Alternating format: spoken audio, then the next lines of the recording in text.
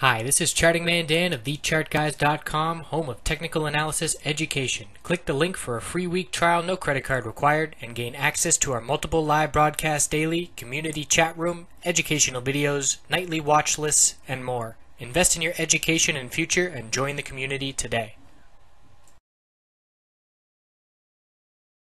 Looking at Nat Gas on the daily and weekly time frame, no follow through by the bulls, Bullish reversal is not confirmed. Lower highs and lower lows. The pattern here has been lower lows now six days in a row. Look for that pattern to change.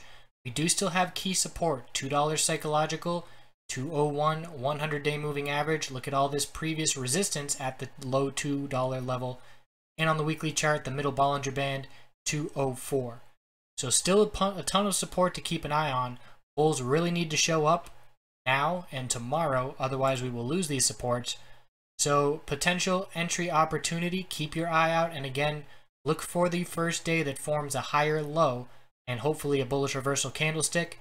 And that will be an entry opportunity for some short-term upside. So still in a very healthy uptrend. Higher lows still very much intact. We would have to break all the way below 188.5 to change that fact. And look at this channel now. Clear 100-day moving average resistance for weeks. Clear 200-day moving average resistance I would anticipate we bounce off this 100-day moving average support at least on the first attempt, and that's the channel we're going to be watching. So natural gas bulls, key 100-day moving average support. We'll see if we hold that tomorrow.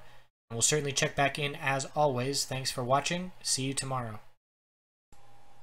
Thanks for watching. The Chart Guys community has compiled trader tips from dozens of traders over the last year and put together a free ebook you can access by clicking the button and entering your email. Have a wonderful night.